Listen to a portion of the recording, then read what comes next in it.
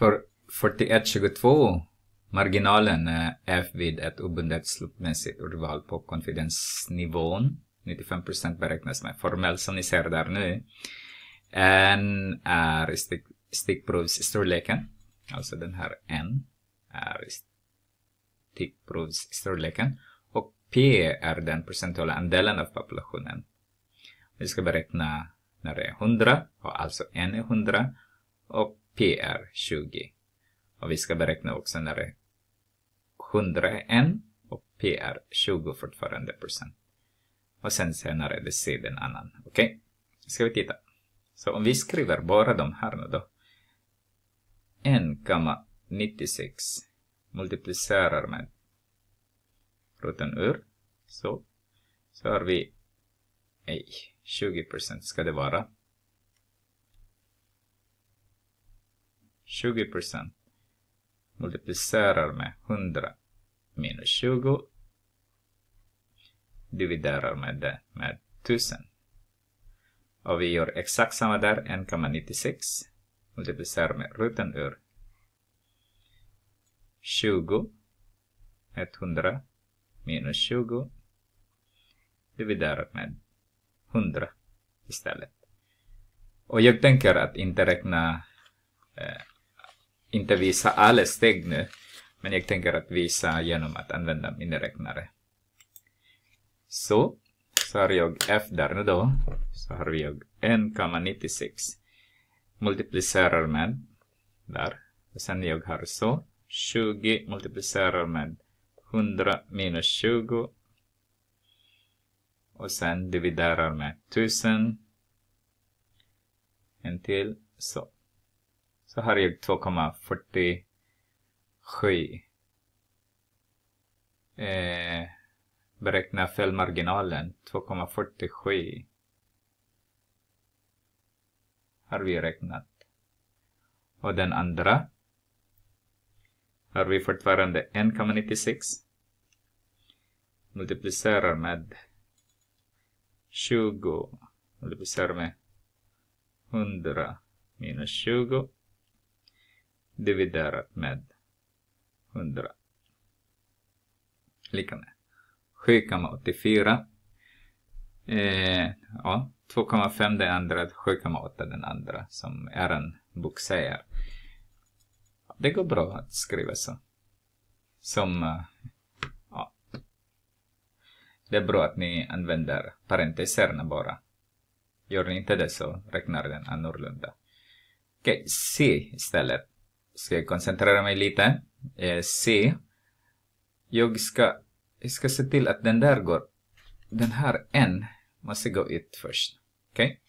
Så har jag F är lika med 1,96 multiplicerar med roten ur P dividerar med 1000 minus P dividerar med n. Alltså den här är lik allting där. Så om jag vill få bort uh, Ehm, 1,96 ehm, där så dividerar jag hela den här med 1,96 dividerat med 1,96 så har jag nu f dividerat med 1,96 är lika med, den här blir 1 med den där. Så har jag bara i den här nu p multiplicerar med 100 minus p dividerat med n. Om jag ska ta kvadrat till båda så att bli av med roten ur också så har jag f dividerat med 1,96 i kvadrat är lika med. De tar varandra. Så har jag p dividerat med, i multiplicerar med 100 minus p i parentes dividerat med n.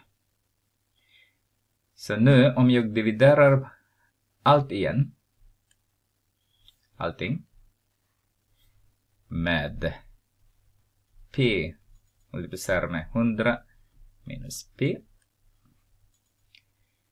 i parentes så har jag, den här blir 1 ju, och den, och den här. Och så har jag bara en egentligen nu, lika med, nej, förlåt, förlåt, förlåt det var intressant. Eh, jag har bara... Ah, vad är bättre nu? Därför att en är uppe. Ja, jag multiplicerar med en istället. Vänta. Eh, jag suddar bort allt den här. Så.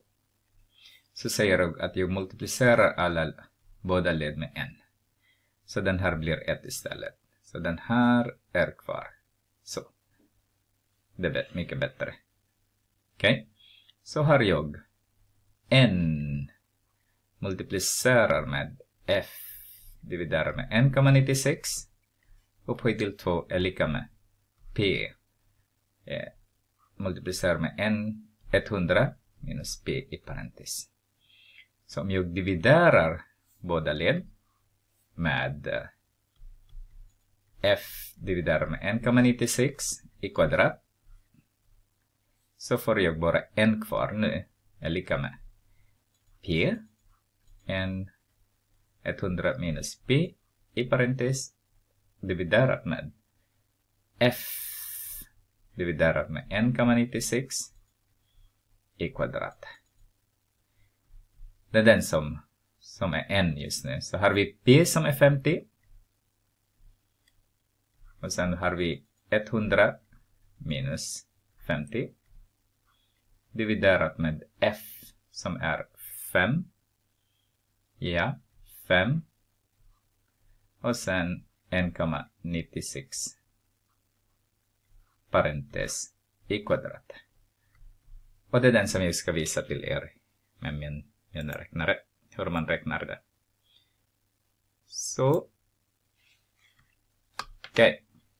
Då har vi Först uppe 50 multiplicerar med 100 minus 50. Där. Och sen stänger vi. Så alltså, jag har parentes egentligen här. Till. Sen dividerar vi det med parentes. 5 dividerat med 1,96. Och sen är det, det ska vara i kvadrat. Så fick vi 384,16 men n måste vara. Vi kan inte ha parentes där. 384 fick jag. Hur du gör, det vet inte jag, men det här gör jag. Mycket, mycket enklare att sätta in alla siffrorna när man har löst ut Det är C-uppgift eh, så det kan vara arbetsamt också.